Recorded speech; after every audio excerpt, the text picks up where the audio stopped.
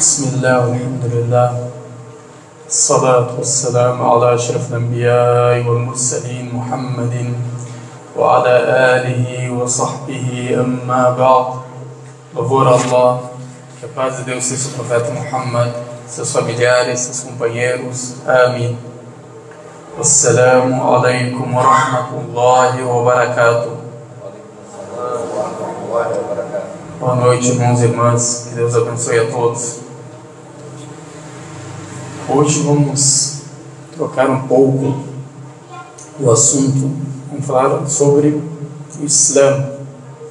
Ou seja, o que significa o Islã.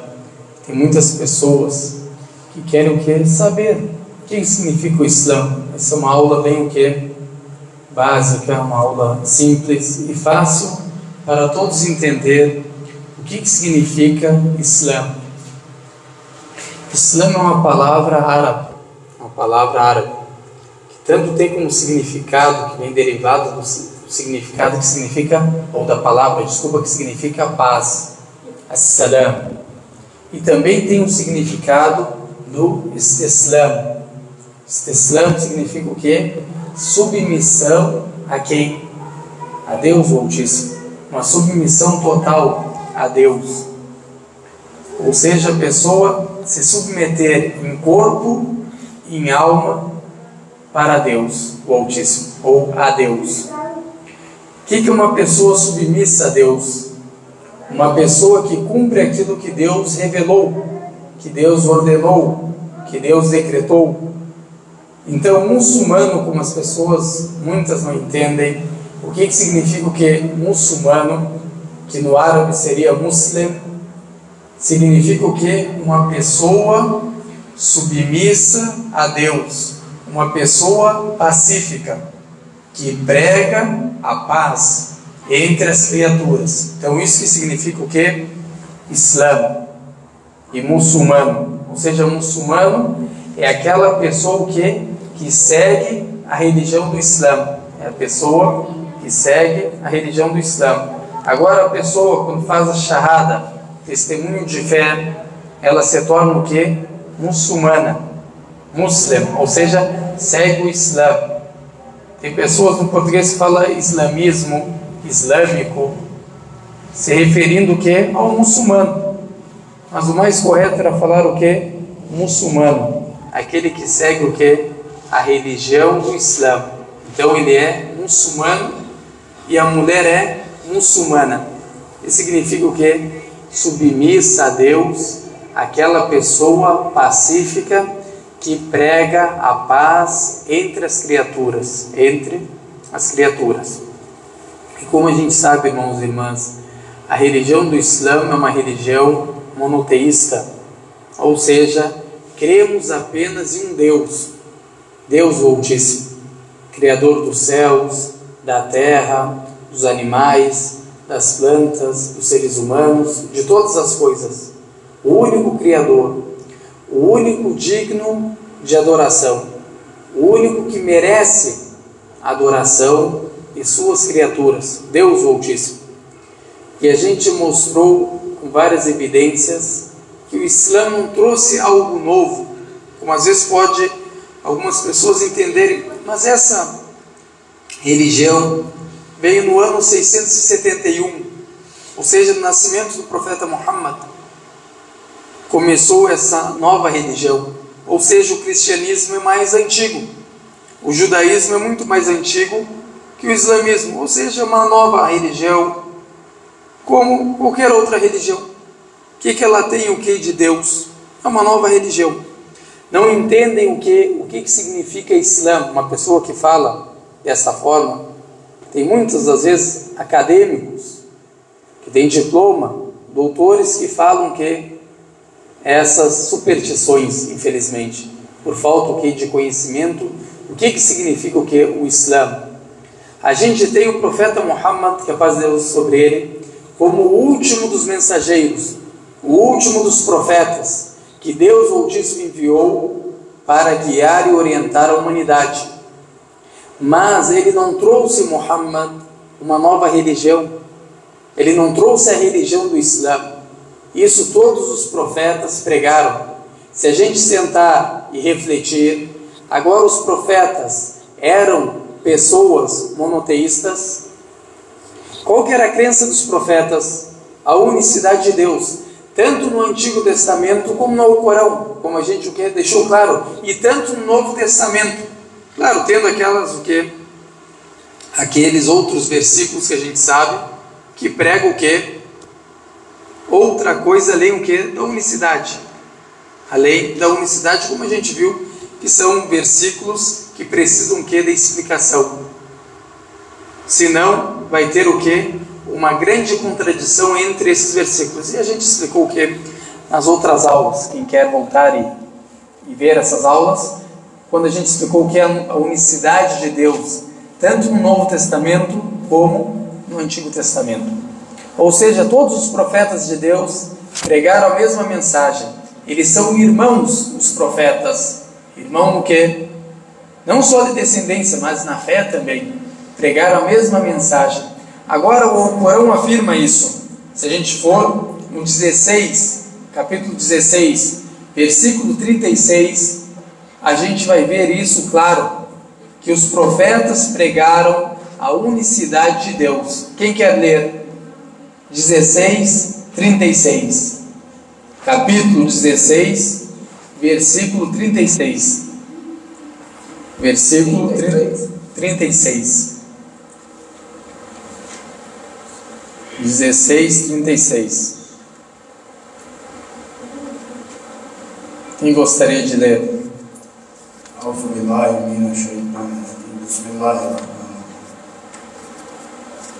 E de fato, enviamos para cada nação um mensageiro, dizendo: Adorai somente ao Allah e evitai arte.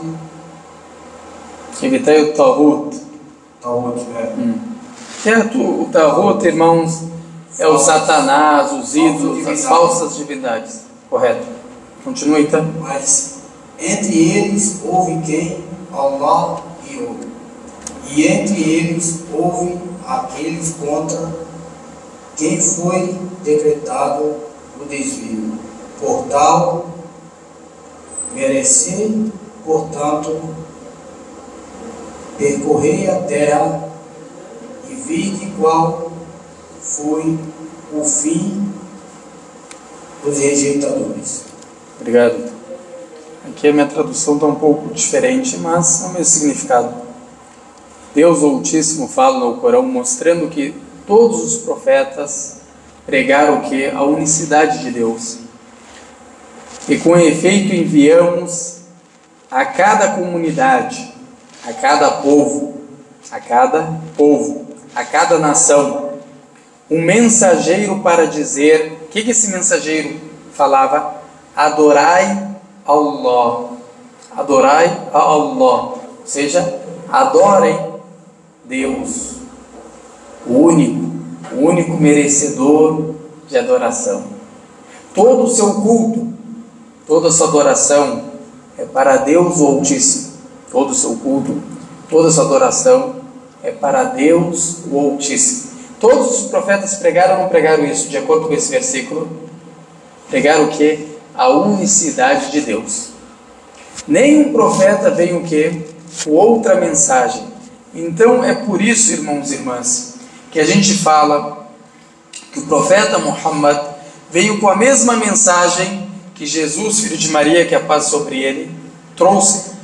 Jesus, filho de Maria, que a paz de Deus sobre ele, também pregou a mesma mensagem que Davi, que a paz de Deus sobre ele, trouxe. E Davi pregou a mesma mensagem que Moisés, que a paz de Deus sobre ele, trouxe. E Abraão também pregou a mesma mensagem, ou seja, ao contrário, né? Moisés pregou a mesma mensagem que são antes. Ou seja, Jesus pregou o que o que Davi trouxe. Davi pregou o que Moisés trouxe. A mesma mensagem, ou seja, a unicidade de Deus. Moisés pregou o que Abraão trouxe antes dele. Abraão pregou o que Noé trouxe antes dele. E Noé pregou o que Adão, o pai da humanidade, trouxe. A unicidade de Deus. Todos os profetas falar essa mesma frase: adorai a Allah. Adorem, ó pessoal, ó povo, adorem a Deus único, o único Deus, o único que merece ser adorado, o único digno de adoração. Todos os profetas pegaram o que? A unicidade. Ou seja, o Alcorão não trouxe nada novo. Pelo contrário, confirmou o que as escrituras antigas que foram reveladas por Deus Altíssimo, como a Torá revelada a Moisés, como os Salmos revelada a Davi, como o Evangelho revelado a Jesus, que a paz de Deus seja sobre todos os profetas de Deus, foram a mesma coisa que foram revelados nesses livros. O Alcorão não trouxe o que? Algo novo. O Evangelho pregava a unicidade de Deus, é a palavra de Deus. A Torá prega o que? A unicidade de Deus. Os Salmos prega a unicidade de Deus. E a gente trouxe em outras aulas versículos claros explícitos mostrando que? A unicidade de Deus. E a gente viu que no Antigo Testamento não há problema. Pregando o que? A unicidade de Deus, todos os profetas. No Novo Testamento a gente explicou o que? As superstições que tem, falando o contrário disso. Então, irmãs e irmãos, o profeta Muhammad, que paz sobre ele, é o último dos profetas. Pregou aquilo que os profetas pregaram antes dele, que foi a unicidade de Deus. Isso é o que, simplificando, o que significa o Islã. Agora, a pessoa, para entender o Islã melhor. O Islã tem pilares e também tem os pilares da fé. Os pilares da fé são quantos? Seis. Seis da fé. Os pilares do Islã são quantos? Cinco. Então, para você se tornar um muçulmano, ou para você querer entender o que, que significa o Islã, tu vai ter que entender o que? Esses pilares. Agora, quando a gente fala o primeiro pilar do Islã, que é a Shahada, a pessoa testemunhar com toda a convicção, com toda a certeza, que não há outra divindade digna de adoração a não ser Allah, a não ser Deus, e que Muhammad é seu servo e mensageiro. Nós cremos que Muhammad é um servo de Deus, é um mensageiro de Deus, que vem orientar, guiar, e pregar a unicidade de Deus como todos os profetas de Deus. Não acreditem quando um desinformado, um desviado, fala o que os muçulmanos adoram Muhammad. Como infelizmente tem pessoas dessa forma, trazendo o que? Mentiras, falta de conhecimento, falando sobre algo que ele não conhece. Muhammad para nós é um servo mensageiro de Deus. Como Jesus para nós é um servo mensageiro de Deus, como Abraão é um servo mensageiro de Deus. Todos eles adoravam a Deus. Todos eles colocavam a testa no chão, adorando a Deus. Como a gente vai adorar essas pessoas? Se elas precisam de Deus, elas suplicavam, pediam auxílio de Deus Altíssimo como a gente vai adorar o ser humano, que é fraco, imperfeito e necessitado da misericórdia do Criador. Esse é o servo. Criatura, criado, não existia, existiu pela plena misericórdia de Deus para com ele. Fez ele o que? Do nada. Então, essa é a nossa crença em Muhammad Agora Deus Altíssimo fala em vários versículos, tanto para o profeta Muhammad como para a nação do profeta Muhammad. A gente seguir qual crença, irmãos e irmãs? Qual crença que é citada no Corão que em vários versículos que devemos seguir, que essa crença é a crença verdadeira? A crença de quem? A fé de quem? Hã? Não, ele incentiva o profeta Muhammad a seguir essa crença. Fé de Deus e a depois de morrer. Qual profeta que Deus o que exalta no Corão? Eleva ele. Qual? Profeta Jesus. Não. Que todas as religiões monoteístas querem o que? Falar que são seguidores de Abraão. Olha aqui, claro que eu separei poucos versículos, são vários. Por exemplo, olha o 2,130. 2,130. Olha o que fala esse versículo. Capítulo 2, versículo 130. Como eu falei para vocês, todas as religiões monoteístas, como o cristianismo, o judaísmo, o islamismo, o que? Falam serem seguidores de Abraão que passou dele. E a gente explicou isso numa aula que, em detalhes. Quem de verdade segue o profeta Abraão. Então, Deus Altíssimo fala no versículo 130. Quem quer ler? Uma irmã. Rita já leu, né? Então. Irmã Lanúzia. Gostaria de ler? Versículo 130.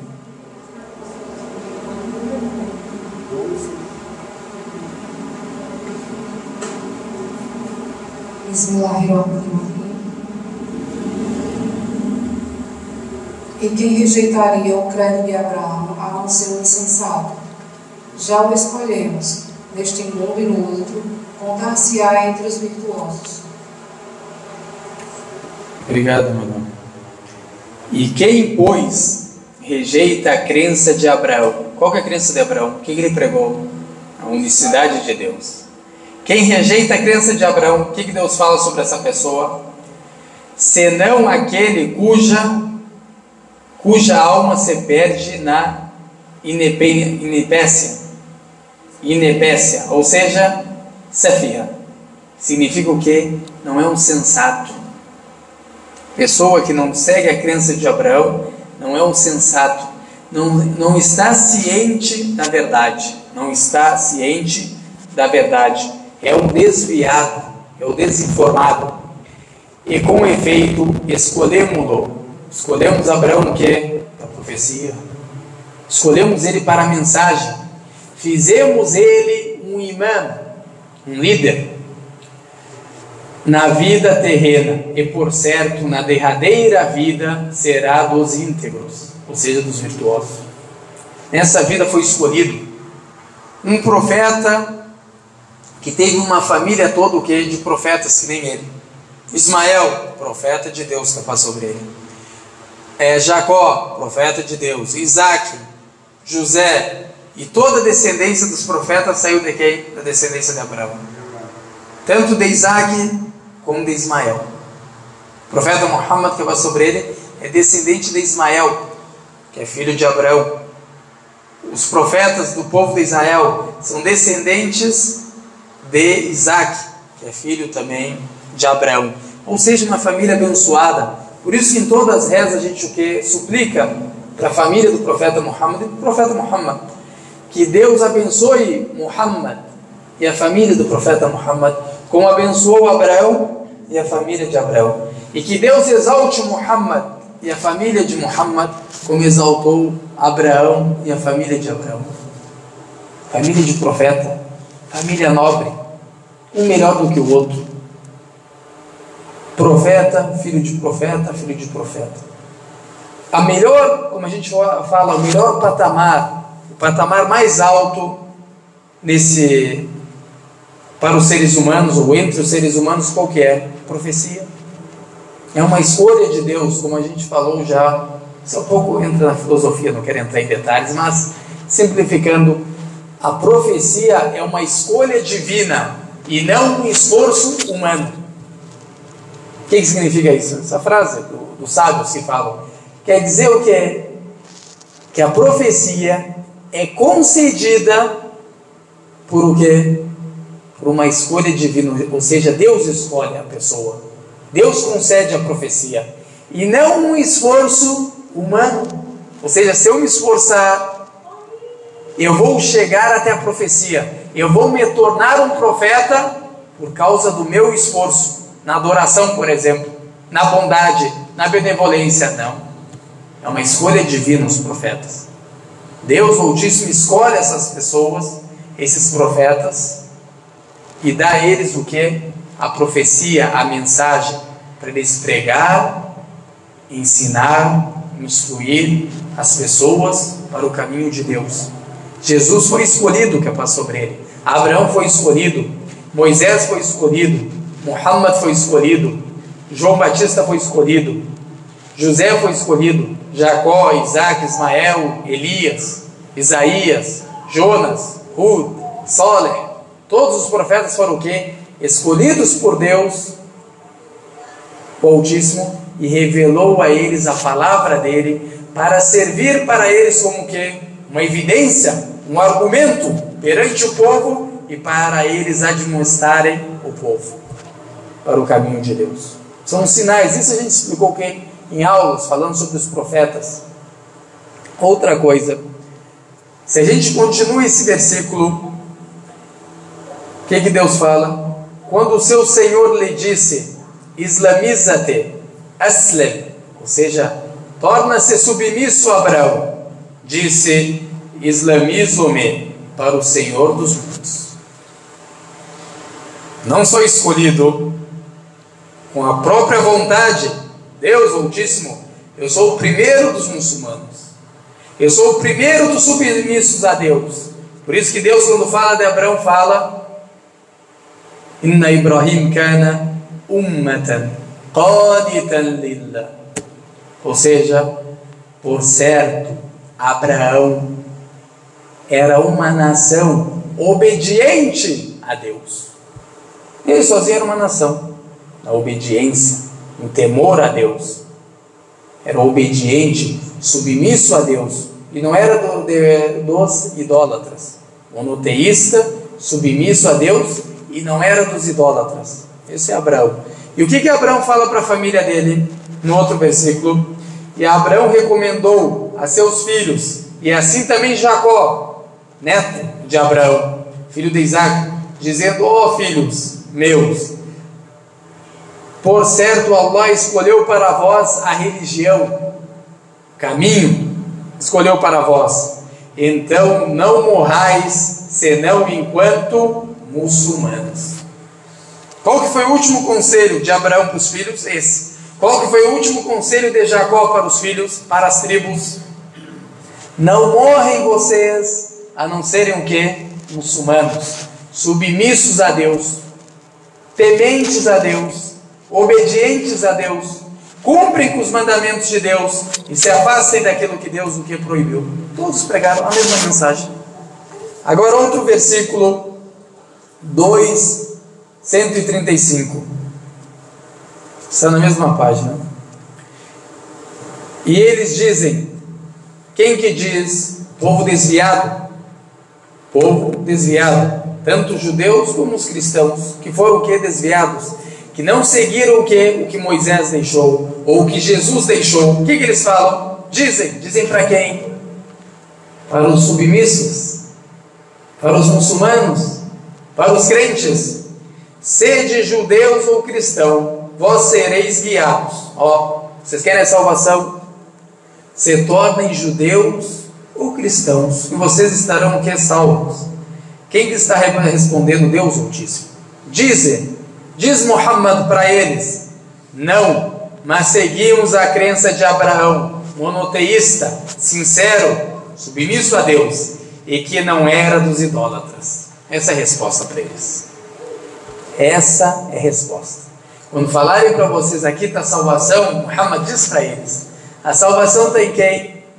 A crença de Abraão, que era monoteísta, sincero, submisso a Deus e não era dos idólatras. Essa é a resposta. Por quê? Porque se agora, se estiver no Corão, vir ler e falar, olha, o Corão fala que o, os discípulos de Jesus eram crentes, que Jesus era crente. Sim, nós cremos nisso. E esses nazarenos que creram em Jesus, não há nenhuma diferença entre eles e nós. Somos irmãos de fé. Cremos no mesmo Deus. Não há diferença entre os seguidores de Muhammad e os nazarenos que creram em Jesus. E não há diferença entre nós, entre os companheiros de Moisés, que creram em Moisés, naquilo que Moisés trouxe, e entre nós. Tudo a mesma coisa, tudo submisso a Deus. Todos creram somente em Deus. Cada um creu no profeta que chegou. Para Moisés, que passou sobre ele, os crentes creram que na unicidade de Deus e Moisés, como mensageiro, profeta de Deus. No tempo de Jesus, a mesma coisa. Adorai a Deus e acreditar em quem? Em Jesus, como profeta e mensageiro de Deus. Isso a gente mostrou o quê? Até no Novo Testamento a charrada, você lembra que eu mostrei para vocês? Até no Novo Testamento tem em João, falando sobre o quê? A charrada. Que a verdadeira vida, a salvação está o quê? Em crer em Deus único, o Deus verdadeiro, e em mim e em Jesus, quem Ele enviou. Não é a charrada, não é o testemunho de fé, é o testemunho de fé. Todos cremos nisso. Então os nazarenos são crentes. Quando vocês lerem no Alcorão, falando sobre os discípulos de Jesus, são crentes. As melhores pessoas acreditaram em Jesus, socorreram Jesus, como os companheiros de Moisés, como os companheiros de, dos outros profetas. Então todos eles são o que? Submissos e seguiram a crença de quem? De Abraão, que a paz sobre ele, que não era dos idólatras. Abraão não pregou a trindade, irmãos e irmãs. Abraão pregou a unicidade de Deus. Abraão não conhecia a trindade, conhecia a unicidade de Deus. Moisés não conhecia a trindade, conhecia a unicidade de Deus. Isaías a mesma coisa. Elias a mesma coisa. Salomão a mesma coisa. Davi a mesma coisa. Todos eles conheciam a unicidade de Deus. Agora outro versículo 3:95. Capítulo 3, versículo 95. Sério, seis de Deus iluminado. Ficarei bem iluminado. É, guiados, orientados. Isso quem está falando? Os judeus e os cristãos. Sim.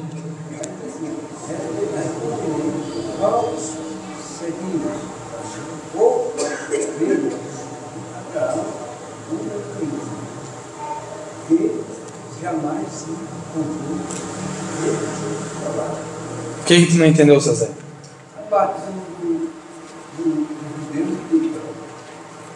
Isso é o que eles falavam, que a salvação está o quê? Na idolatria. Em seguir o quê? A idolatria. Deus Altíssimo fala ao profeta Muhammad responder para eles. Seguir assim, né? Né? Sim, então Deus ordena o profeta Muhammad falar para eles: Dize, ó Muhammad, não, seguimos a crença de Abraão, que era monoteísta, sincero e não era dos idólatras. Essa é a crença da salvação. Esse é o caminho de Deus. Esse é o caminho que Deus revelou para os profetas. Isso que significa, seu Zé. Entendeu agora? Hã? Isso aí. Isso aí. A crença verdadeira é a crença de Abraão. Agora 3,95, quem quer ler? أعوذ بالله من الشيطان الرجيم بسم الله الرحمن الرحيم Dizem, Deus diz a verdade. Segue, pois, a religião de Abraão, o monoteísta que jamais se encontrou entre os idólatras. Também um versículo que é claro, explícito, que a salvação, o caminho do bem, é o caminho da crença de Abraão que passa sobre ele. Vem um, um companheiro do profeta e perguntou para o profeta que passa sobre ele: Quem é o mais generoso? Quem é o mais nobre? Quem é o mais honrável? O profeta Muhammad passa sobre ele falou: José, filho de Jacó, filho de Isaac, filho de Abraão. Tem mais nobre do que essa família? Tudo profeta. Tudo profeta. Pai é profeta, o vô é profeta, o neto é profeta. Então o profeta Muhammad, com a sua grande humildade que paz sobre ele, respondeu dessa forma. Claro que o profeta Muhammad, Deus Altíssimo, exaltou ele acima de todas as criaturas, mas ele era sempre o que? Uma criatura humilde, sincera, monoteísta, mostrando também, exaltando a família de Abraão. O Alcorão exaltou os profetas de Deus. Como a gente vê no Alcorão, os profetas são que exaltados, nobres, honráveis. Não é muçulmano aquele que não crê em Jesus. Não é muçulmano aquele que não crê em Moisés. Não é muçulmano aquele que não crê em Abraão. Não é muçulmano que não crê em Noé. Você sai da fé se você difamar qualquer um deles. Olha até onde exaltou eles. Porque são as melhores pessoas que Deus Altíssimo criou. A tua blasfêmia sobre eles te tira da religião. Te tira da religião de Deus. Fazer blasfêmia sobre qualquer profeta de Deus, o Altíssimo. Devemos respeitar exaltar como Deus Altíssimo exaltou eles. Quando Deus fala sobre eles, sempre chama eles de quê? Íntegros, virtuosos, tementes, piedosos. E todos eles queriam o quê? A orientação do povo. Não vieram nessa terra procurar o que? Dinheiro. Não vieram nessa terra o que? Se dar bem. Como muitos pensam, vou me dar bem atrás da religião. É uma forma de eu me dar bem atrás da religião. Vou ficar o que rico. Vou estudar a religião para me tornar rico. Acha que está dando risada de quem? Tu dá risada das pessoas, mas de Deus o Altíssimo. Tu dá risada. Deus sabe tudo. Onisciente. Alim, ou seja, onisciente. Qadir, onipotente, tudo pode. Tu se esconde dos seres humanos, as criaturas imperfeitas. Tu esconde o que há no seu coração, mas tu esconde daquele que conhece o que há de oculto dentro dos corações. Tem como te esconder? Então, uma pessoa que pratica a religião, aprende a religião, busca o conhecimento da religião para agradar a quem? A Deus. Toda a minha adoração é para quem? Para Deus. O único que pode me beneficiar é quem? O único que pode me proteger é quem? Deus Altíssimo. Esse problema que eu me encontro agora, quem pode solucionar esse problema? Dar a mim uma saída? Deus. Isso é unicidade, irmãos e irmãs. Não é só ler esses versículos e passar o que? Por eles. A pessoa querer entender, refletir. Um versículo que tu entende como esse e pratique na sua vida é muito benefício para você e para as pessoas que estão em volta de você. Praticar aquilo que Deus o que revelou, a palavra de Deus. Deus me ordenou adorar somente a Ele. Não vou prestar culto para nenhuma estátua, para nenhum santo, para nenhum ídolo, para nenhuma pessoa, somente para Ele. Vou confiar toda a minha confiança para Ele. Vou exaltar somente a Ele. Vou glorificar somente a Ele. Vou me lembrar dele na facilidade. E Ele me lembrará na dificuldade. Deus Altíssimo. Tu não está falando, tu não está se conectando com um servo imperfeito. Com um servo que não tem nada a oferecer está se conectando com misericordioso, com clemente, com aquele que perdoa tudo, aquele que sustenta. Deus Altíssimo. Então, devemos o que? Melhorar a nossa ligação com Deus. De que forma eu melhoro? Lendo a palavra de Deus, seguindo os mandamentos de Deus. Isso que é a fé. É a pessoa agir com conhecimento. Pode ser uma fé cega. A fé cega é um problema. Te leva ao desvio, te leva à inovação na religião, te leva à heresia na religião. Fé com conhecimento, luz do coração. Ilumina tanta pessoa que tem essa fé, como as pessoas em volta dela. Fé com conhecimento. Eu conheço a minha crença. Eu conheço a minha religião. Eu conheço o caminho de Deus. Como Abraão fazia e mostrava que estava sobre ele. Quando ele o que? Debatia com os incrédulos, com os idólatras, mostrando a verdade. Abraão não era a intenção dele ganhar. A intenção dele era fazer o povo que refletir, meditar. Ele não quebrou as estátuas para desrespeitar a religião deles, e sim para eles refletirem que aquilo que eles estão adorando são divindades falsas, que eles devem adorar somente a Deus. Por isso que ele quebrou as estátuas. Iconoclasta, que chamam ele, ou seja, aquele que quebra as estátuas. Abraão, o apelido dele. Ele não quis desrespeitar ninguém. Ele quis mostrar, orientar que esses deuses são falsos. Que o único que merece a adoração de vocês, ó meu povo, é Deus, o Altíssimo Criador de vocês. Aquele que concede o sustento de vocês. Aquele que dá uma saída para vocês. Quando você se encontra um problema aquele que perdoa os pecados, aquele que nunca fecha a porta dele.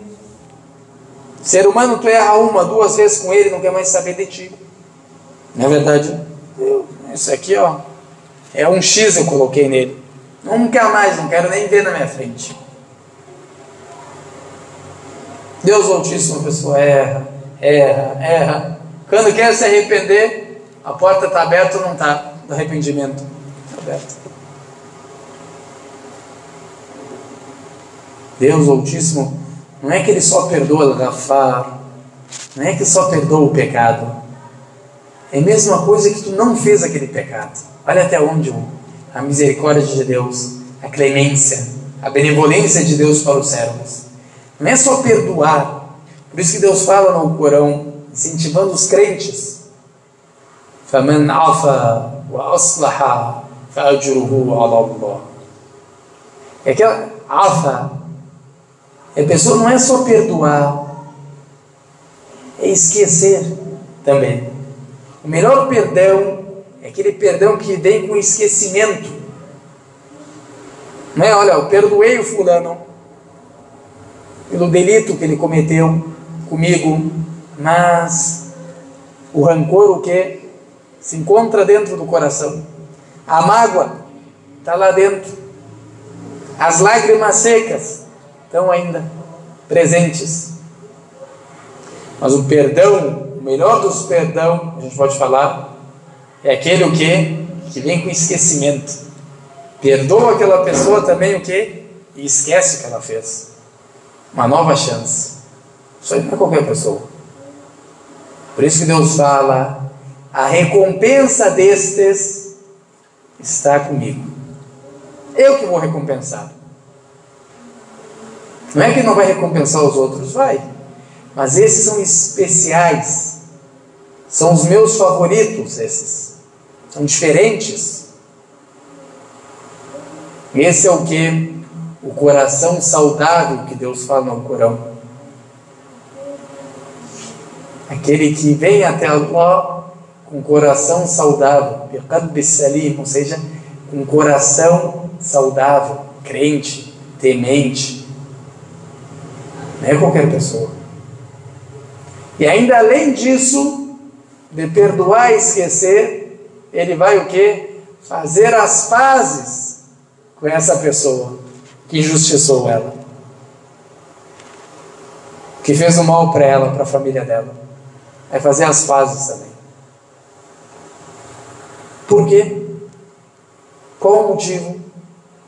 Esperando, na esperança de ser recompensado por Deus.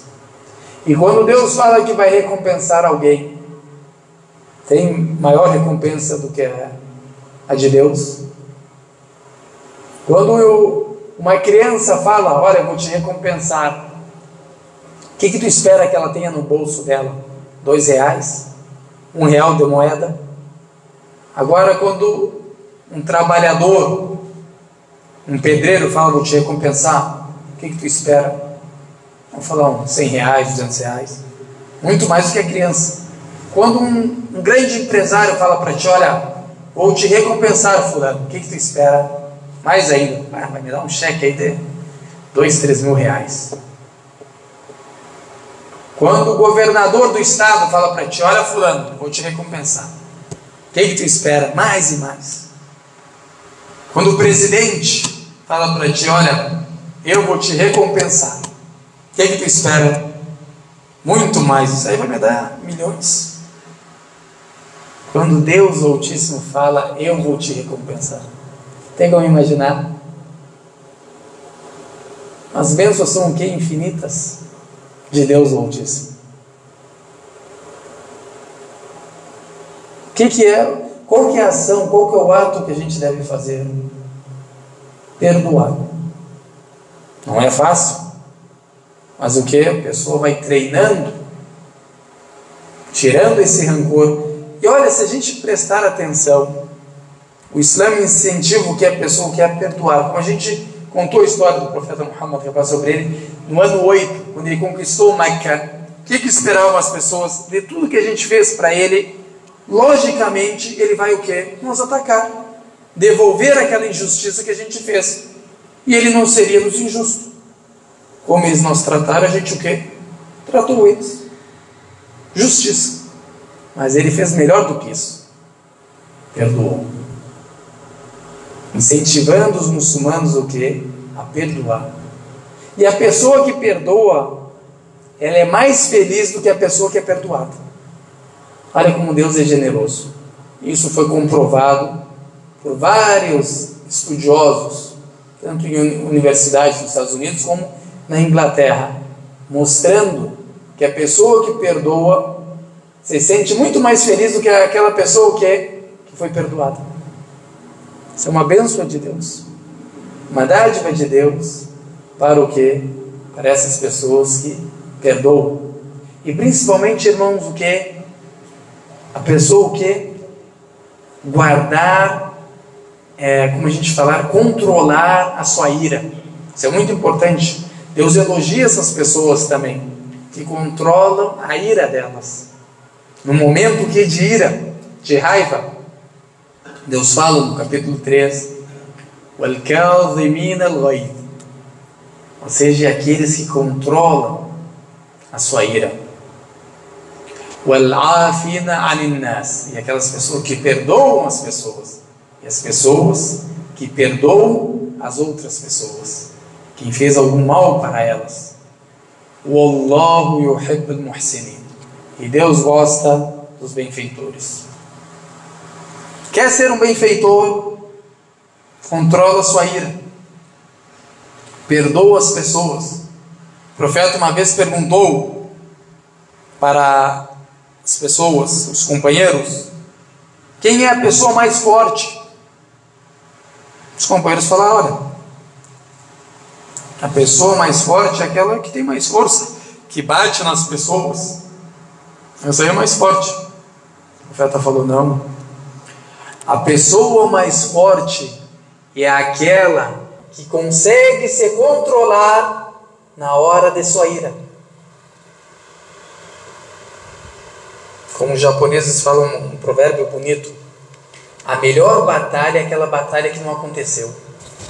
Essa é a melhor batalha que tem que não aconteceu derramar sangue das pessoas. Ou seja, tu pode ter mais força que essa pessoa. Tu sabe se acontecer algum, alguma briga, você vai ganhar dessa pessoa. Mas você não quer injustiçar ninguém. Você não quer usar essa força que Deus Altíssimo te concedeu para o quê? Injustiçar alguém, bater em alguém. O que, que tu faz? Tu controla a sua ira. Não é fácil. Momento da ira, a pessoa controlar a ira não é fácil. São os crentes verdadeiros. Por isso é narrado que um dos netos do profeta, Zen al-Abidi, salam, os livros de histórias contam essa passagem dele, que ele uma vez estava sentado em sua casa com seus visitantes e chegou um dos servos dele, os funcionários, e o que foi servir as pessoas, os visitantes. E ele resbalou e quebrou o que o prato de comida, ou seja, que era para os visitantes. Imagina, tu convidou as pessoas para o jantar, todo mundo esperando, e o teu servente vem com aquela, aquele prato grande para os visitantes e cai aquilo tudo no chão. Ele, a primeira coisa que ele fez, ele olhou para o patrão, que era o neto do profeta, que a paz de Deus sobre ele, Zenelabidin, ou seja, o, a gente pode traduzir o, o apelido dele como o mais belo dos adoradores. Crente, sábio era. Olhou para ele, viu ele o que? Bravo. Olhou para o patrão. Aí ele leu esse versículo para ele. E aqueles que controlam a sua ira. Aí ele falou para o servo, servo dele: Eu controlei a minha ira. E aqueles que perdoam as pessoas. Ele fala: Eu te perdoei. E Deus gosta dos benfeitores. Ele falou: Você está livre no caminho de Deus. Libertou ele. Isso, irmãos, é praticar o que? A religião que Deus revelou. Isso que é fé. Isso que é temência. Isso é quando tu fala uma pessoa que é crente, piedosa. Quando chega a palavra de Deus, pessoa que baixa a cabeça. Deus Altíssimo ordenou isso. Eu sou o primeiro, como Abraão falou, quando Deus ordenou a ele o que? Aslem, ou seja, seja submisso Abraão. A mim, o que, que ele falou? Aslamtu. Primeira coisa, pensou? Sou o primeiro a ser submisso ao Senhor. Sou o primeiro a botar minha testa no chão para o Senhor. Sou o primeiro a cumprir os mandamentos do Senhor. Esse é o crente. E quantos os companheiros do profeta, da família do profeta, eram que piedosos e crentes? Se a gente for falar sobre o Islã deles, a fé deles, a gente fica dias e dias e ainda não vamos o que acabar de tanta virtude. Eles pregaram o que o bem nessa terra, por isso que são lembrados. Por isso que são lembrados por todos nós. Cada dia que a gente faz o que? Uma palestra ou fazer uma aula, sempre lembramos o que? O nome dessas pessoas. Porque praticar o Islã como Deus o Altíssimo que revelou, como Deus ordenou, e não como eu quero. O caminho de Deus, irmãos e irmãs, é como Deus revelou, é como Deus ordenou, não é como a minha cabeça entende se fosse como cada um quisesse, olha, eu acho melhor isso. Ah, isso não entra na minha cabeça. Entra na sua cabeça? Ah, na minha cabeça entra. Na sua, olha, sabe, eu não sei. Como que seria? Pelo que Deus ordenou disso. Se tu não entendeu, isso é incapacidade sua. Por causa da sua imperfeição, você não conseguiu entender o versículo. Pergunta para os sábios para te explicar, mas não falo o que dos mandamentos de Deus, isso não entra na minha cabeça. Eu não concordo com isso. Seja humilde. Procura o conhecimento.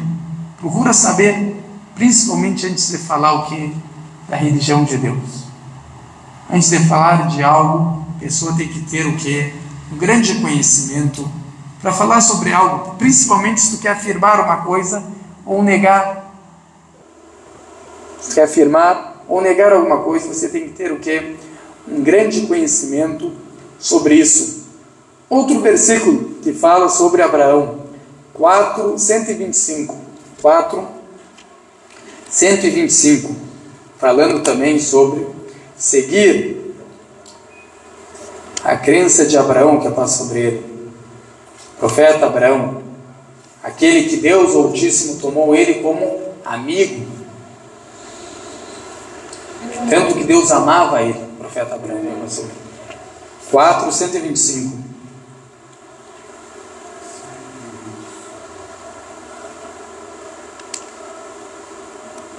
quem,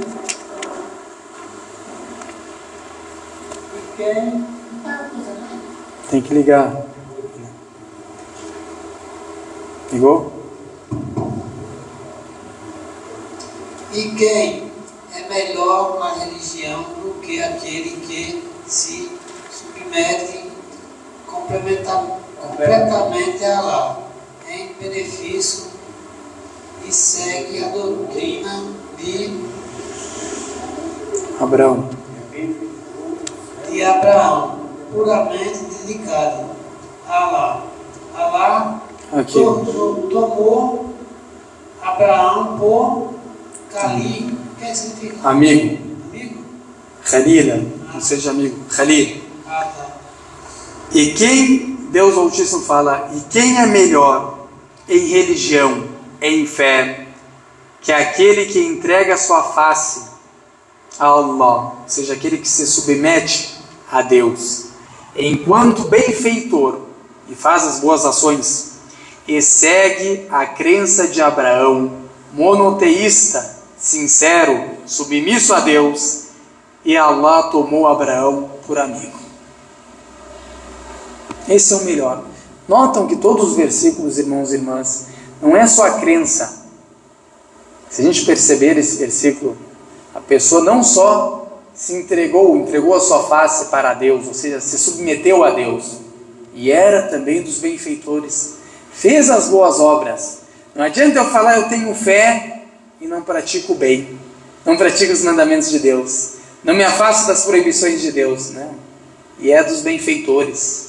Muhsin, ou seja, dos benfeitores, as pessoas que fazem as boas ações, as boas obras, pregam o bem, proíbem o mal e seguem o que é a crença de Abraão, que Deus o Altíssimo tomou ele como amigo, por causa da crença, da devoção de Abraão e a humildade dele. Então, inshallah, que Deus firme nossos corações na fé e faça nós seguidores de Abraão.